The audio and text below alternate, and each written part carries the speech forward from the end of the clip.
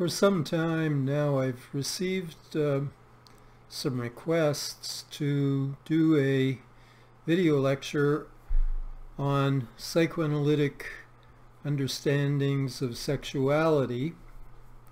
So I thought tonight I would attempt to do that. This will likely be part one and uh, part two to come, hopefully in the not too distant future. Um, let's begin with uh, a general discussion of um, my fundamental disagreement with Freud's and um, in many ways the the general culture's attitude or, or understanding of human sexuality. Um, Freud's fundamental model of human nature was described by Erik Erikson as a centaur model of the human being, the centaur being that mythical beast that has the uh, head and torso of a man and the body of a horse. Um, Erikson, in his gentle and excessively polite way, is basically uh, rejecting the Freudian concept of human nature, this dualistic concept um, in which we are essentially half human and half beast. This is essentially a, a, kind of Platonic uh, vision. Freud followed Plato fairly closely. Uh, for Plato, uh, we have the passions, reason, and spirit uh, Freud associates the passions with the animal uh, part of human nature, with our animality, with our bodies. And uh, the ego is reason, and the superego uh, resembles Plato's spirit.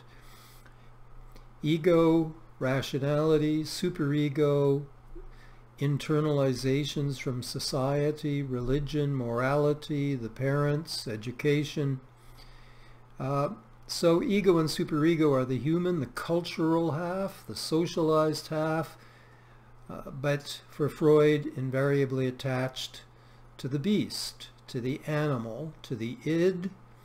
The drives of the id for Freud are fundamentally rooted in somatic sources, the body.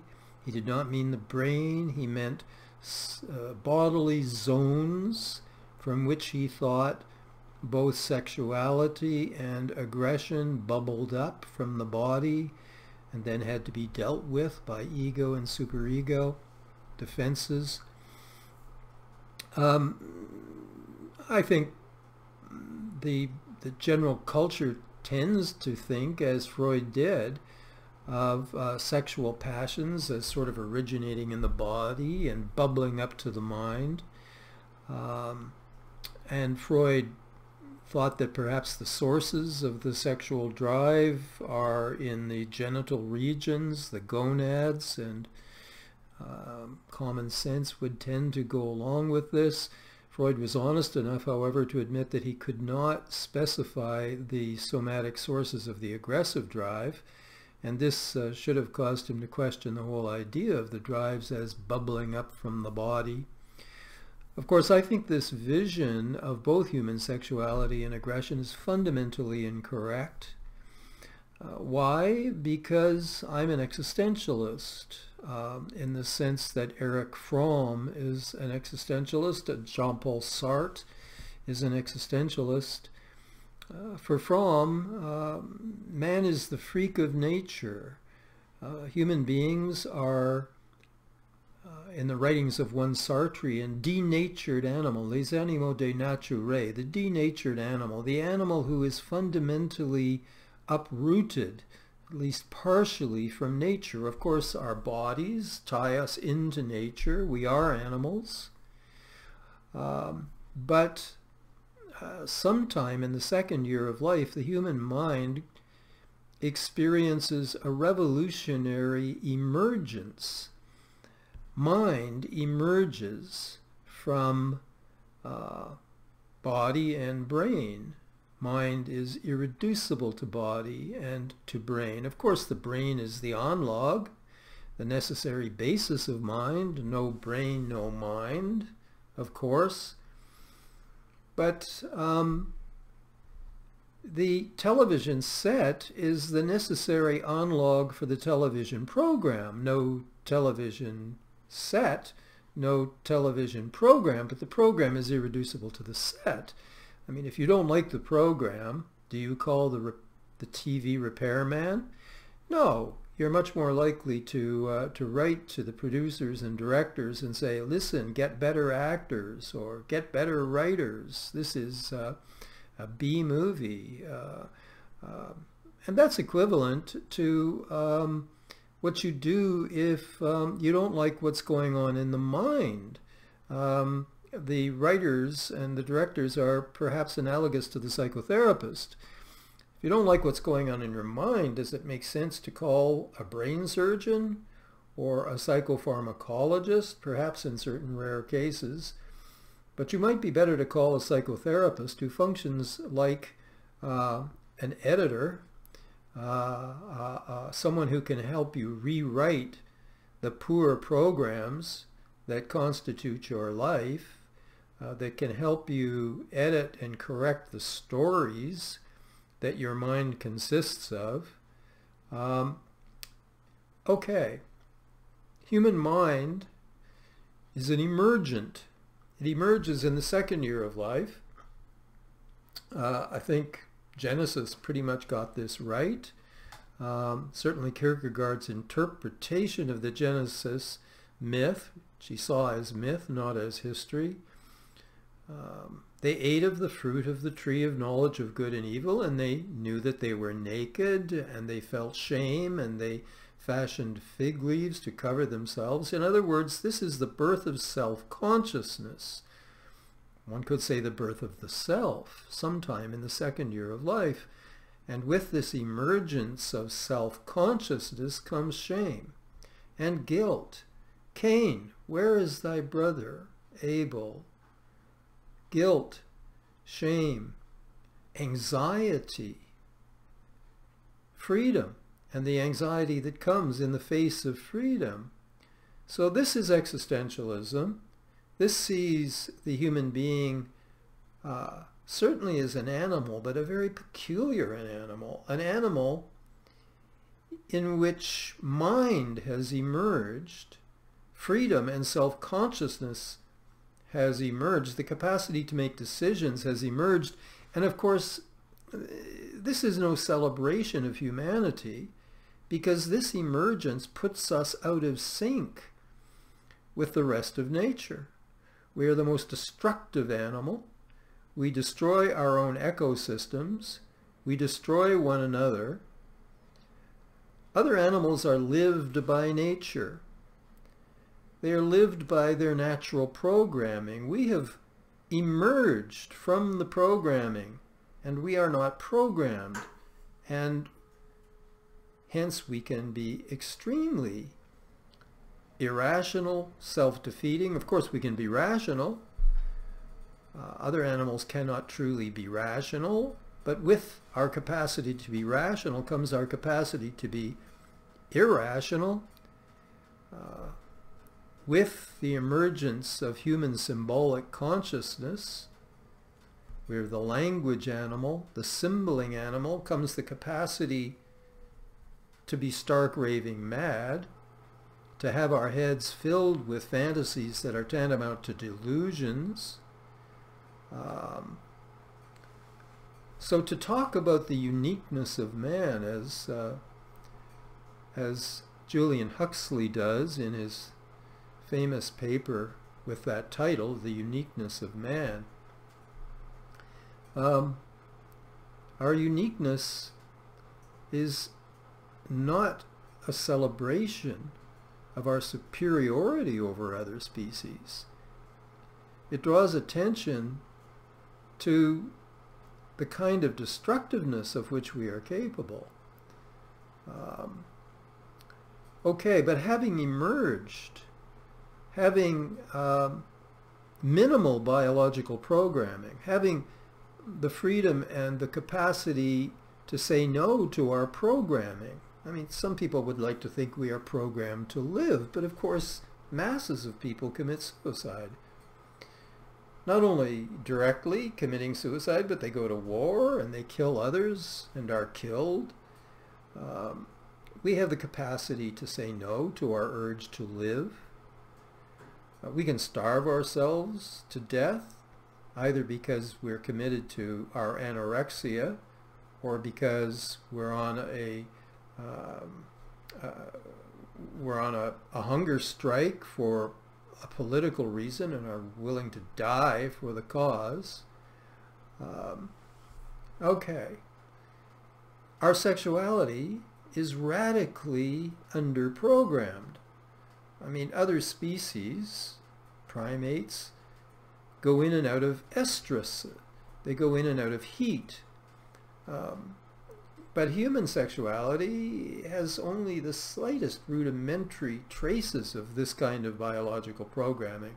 There may be phases in the uh, menstrual cycle when a woman is maybe a little uh, more inclined uh, towards sex, but this can easily be overcome by a range of other factors. Her puritanical superego, which tells her all sex is sinful, um, or perhaps it can be overcome in another way through flirtation and compliments uh, and seductions.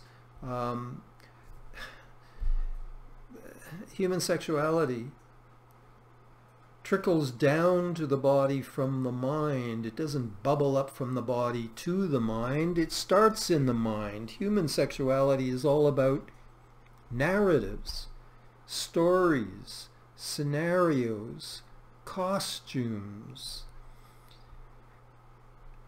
minimally biologically programmed. I mean, the evolutionary psychologists, uh, comparative psychologists comparing different species, at the very bottom of the phylogenetic hierarchy, you have unicellular and then multicellular and then invertebrates and then vertebrates and then mammals and then primates and then man.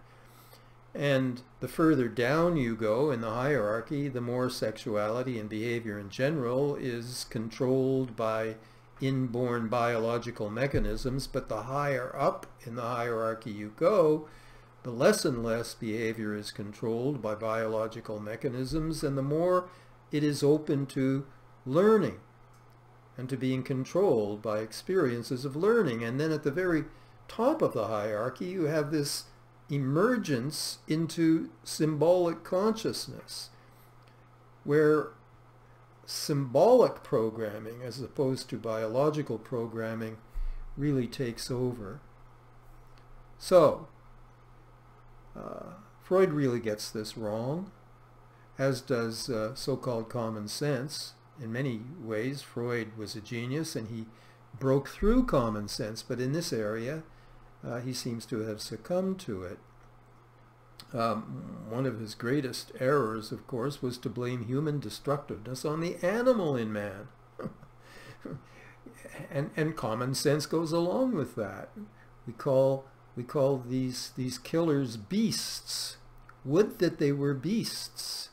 Only humans are capable of the kind of sadistic destructiveness that we see in Auschwitz, that we see in serial rapist murderers, uh, that we see in torturers. You have to be a highly empathic creature to be uh, a sadist because if you can't put yourself into the shoes of the other, you can't possibly enjoy the pain and humiliation you are inflicting upon them.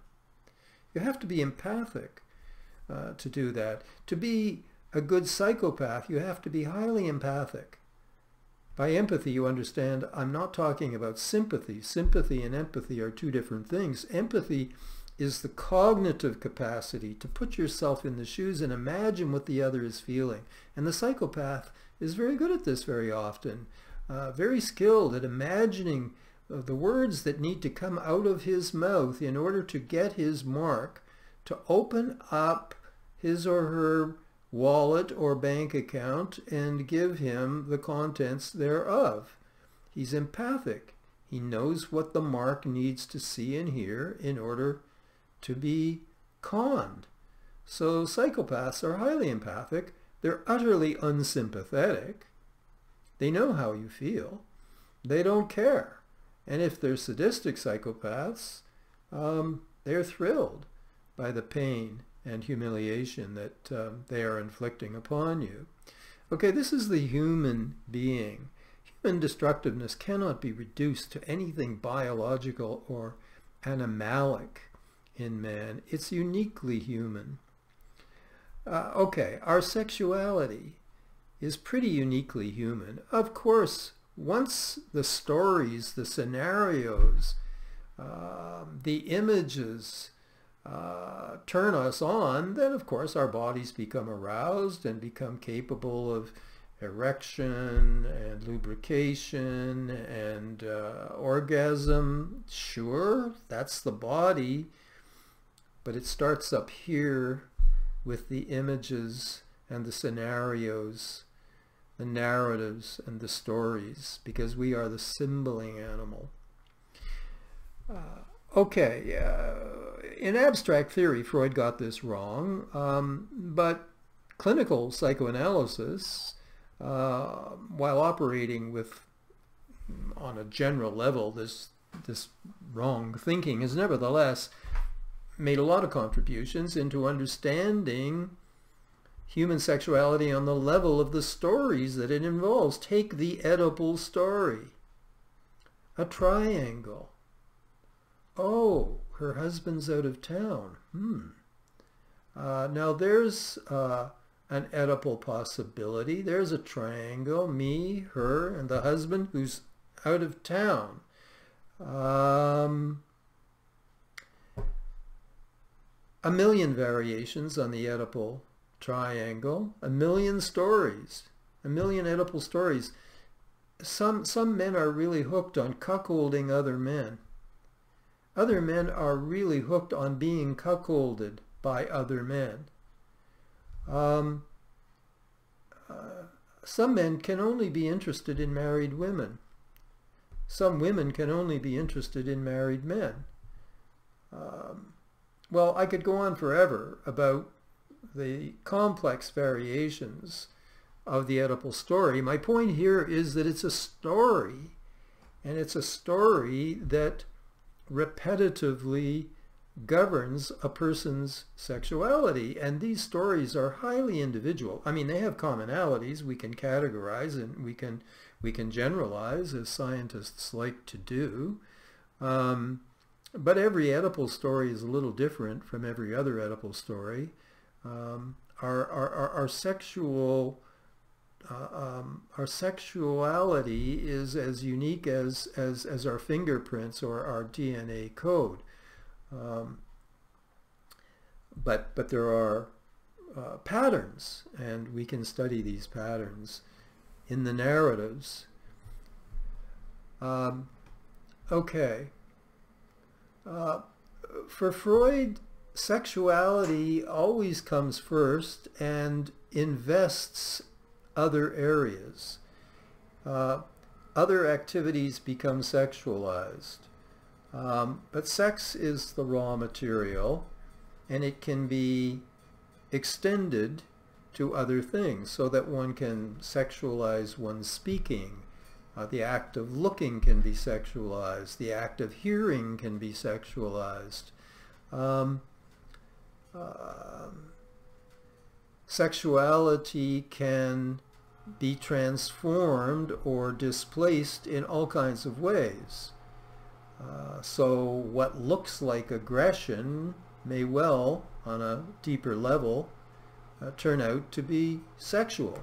But Freud seldom saw it the other way around um, he, he seldom uh, considered, for example, how aggression can take a sexual form. Um, a lot of sexuality, well, the feminists know this. For a long time they've been telling us that rape is not really about sex. It's about, it's about aggression, uh, dominance, uh, violence, humiliation, not about sexuality. Uh, so uh, there are all kinds of other motives that can be disguised underneath sexuality that appears sexually but really something else is going on entirely. Uh, anyone who knows anything about seduction, I suppose, understands how what can appear to be sexual may in fact be governed by uh, many other aims and motives. But Freud seemed to be stuck on the idea that, that sex is fundamental and everything else is an expression of sexuality, rather than sexuality being an expression of, of other things. Um, uh, I don't mean in this way to, to, to devalue uh, Freud's psychosexual stages of development. Um, but whereas he saw them as fundamentally biologically determined, um, I see them in terms of um, distinctively different narratives, uh, worlds of meaning. So a person fixated in the oral stage uh, lives as if all the world is a kitchen. Um, is it lunchtime yet? Um, uh, am I empty? Am I full? Um, should I swallow this or, or, is it good? Should I swallow this or is it bad or poisonous? Should I spit it out? Uh, when will I get to fill up again? Uh, so it's all about the mouth and the lips and the tongue and it's all about being empty or being full. When teeth come in, it then becomes about biting, not just uh, sucking, but now biting. And so aggression can come into orality and one can be orally aggressive. Uh, and then and then people who are fixated in the anal phase, uh, they're living in a world in, in which all the world is, is, is a bathroom. And uh, um, can I go when I want to go or do I have to go when he or, or she tells me to go? Who's the boss anyway? Am I autonomous in my anal functioning or am I dominated and having to submit? So this is the D&S world, domination and submission. This is also the sadomasochistic world. Who is the sadist? Who is the masochist? Who is the dom? Who is the sub? It's about power. Getting stuck in the anal phase. It's all about power in the sexual underground, uh, the, the, the, the, the anal world of the S&M dungeon, there's hardly any intercourse. They're not really all that interested in intercourse. It's much more about costumes and slaves and masters and doms and subs. Uh, that's the theater, the anal phase theater, but it's also about clean and dirty. Um, um, it's about anger. Um, um, okay, moving on into the phallic world, who has the biggest one, whatever that thing is? Is it a penis? Who has the biggest penis? Is it a curriculum vitae? Who has the longest CV, if you're an academic person? Um, who has the most money? Who has the biggest house? Phallic world, it's a pissing contest. Uh, competition. Uh, one can understand uh, capitalism as a kind of a giant pissing contest. Um, the haves and the have-nots. Uh, okay, the phallic world. Uh, and then that leads into the Oedipal world. All the world is a bedroom. And am I on the outside? Am I the excluded third? Uh, listening at the door. What the hell is going on in there? Is daddy hurting her? Are those noises she is making are, are those cries of pain or are they cries of pleasure? Uh, uh, what the hell? And and boy, their minds aren't on me. It doesn't seem. What am I? Chopped liver? I'm not invited into this party. Uh, I'm the excluded third. Two's company, I guess. Three's a crowd. Uh, um, so all the world is a bedroom, and I'm either I'm either in there putting someone else in the position of the excluded third, or I'm the excluded third, one way or another, the triangle. Uh, um, okay, the Oedipal world. Then there's the latency world, Peter Pan, he never grows up. Um, and then we move on into adolescence and into adulthood and so on. Uh, so I'm not casting doubt on these kinds of uh, psychosexual stages or the ideas of regression and fixation, but I don't think of this as a biological drive that is, is, at work here. Uh, what we're talking about uh, are, are different narratives and different worlds of meaning. And of course the body is involved in these things, but they don't bubble up from the body.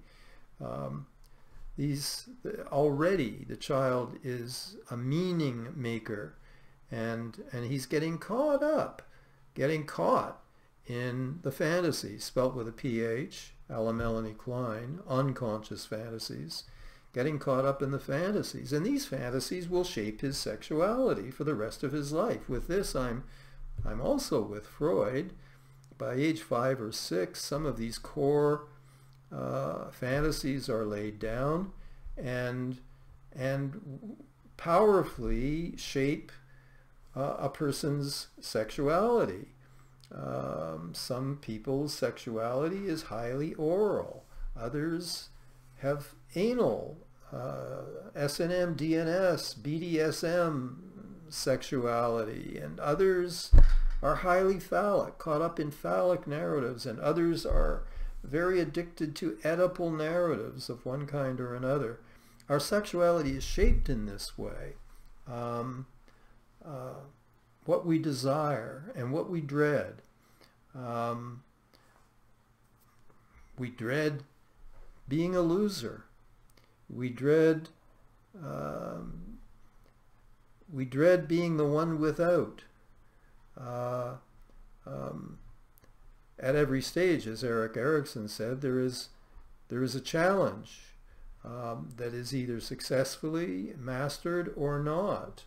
Do we achieve basic trust or do we wind up with basic mistrust in the oral phase? Do we achieve autonomy in the anal phase or are we left with overwhelming shame and self-doubt? Um, in the phallic Oedipal phase, do we do we uh, achieve initiative? Um, um, or do we wind up with a whole lot of inhibition? Uh, and so on. Okay, our sexuality, Freud got it right. It's very much shaped in childhood um, in, in the ways that I've just spoken about. Okay, so so human sexuality is is fraught through with fantasy. Um, so let me address what's the difference between between healthy and unhealthy, or well, I don't like those medical uh, metaphors.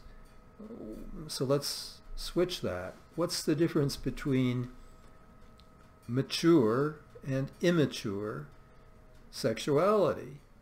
Uh, or one could say between creative and destructive sexuality. Um, for many years, psychoanalysts thought that healthy sexuality was sexuality purged of aggression. That is, it was fully libidinal, fully loving sexuality. And I well recall when um, Robert Stoller came to Toronto and gave a, a lecture in which he announced that fully loving, fully libidinal sexuality is so boring it's not even worth having. Um, he argued quite convincingly that sexual excitement is involved with risk and danger and aggression and transgression. For sex to be exciting, Stoller says, it has to be in some way transgressive, that is, naughty. So if sex isn't dirty, if it isn't naughty, if it isn't in some way transgressive, then boring. And now we know something about the widespread phenomenon of marital deadbed. Uh, you know, they're married for a few years, then the kids come, and after the requisite number of kids are obtained, often the sex life kind of dies. Uh, this is not always the case. And so Otto Kernberg, for one, gets interested in what about those marriages which do not succumb to deadbed, that stay sexually alive? We know that behind the white picket fence, um, many couples have stopped having sex for years. But what about those who carry on and maintain an enjoyable sex life for decades? How do they do that? Well, Kernberg agrees with Robert Stoller uh, that they do that by managing to become what Sergio Benvenuto, in his wonderful uh, book, What is Perversion, he uses the term accomplice. In a healthy sex life, in a, in a, in a, in, in a functional marriage, the partners become each other's accomplices, accomplices in crime, crime in quotes. Like Bonnie and Clyde were accomplices in crime. But I'm talking now about accomplices in sexual quotes crime.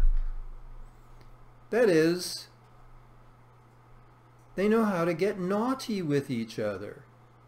They know how to get down. They know how to play in uh, exciting and provocative ways. And nobody gets hurt.